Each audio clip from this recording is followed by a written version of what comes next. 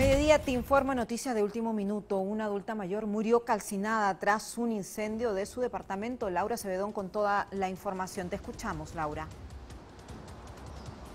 Así es, Eli, el incendio se presentó a las 1 y 40 de la tarde aproximadamente en la avenida La Rabiur Yunanue 188, cruzando con la avenida Arenales. Esto en el departamento del piso número 4, el número 41. Según la información de los policías de rescate, todo ese departamento ha quedado totalmente calcinado y lamentablemente ahí ha fallecido una adulta mayor que se ha identificado como la señora Doris Cecilia Fernández de Madalengoita de 64 años. Eli, esa es la información, todavía está en desarrollo, pero el piso 4, el departamento 41, ha quedado totalmente calcinado, lo que nos indica la policía de rescate. Laura, no se sabe de momento si este incendio ocurrió debido a que la cocina quedó encendida o explotó algún artefacto. Esa información aún no se ha comunicado. Todavía no, está en investigación, los bomberos se han retirado hace un momento de aquí a este punto, han logrado apagar el siniestro, ha quedado aquí la policía de rescate acercando pues el departamento porque no se puede ingresar.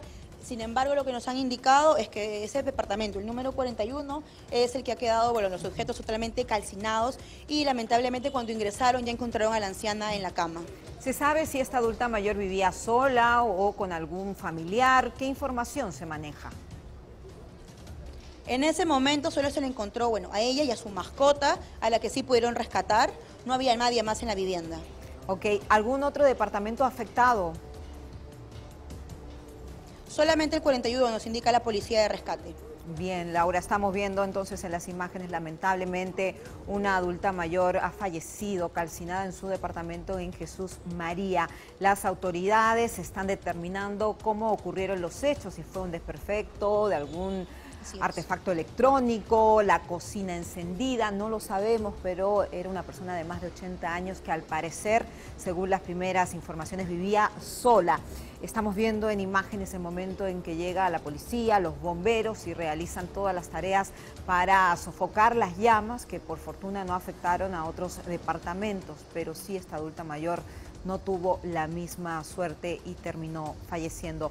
Laura, gracias por la información desde el distrito de Jesús María. Muy amable.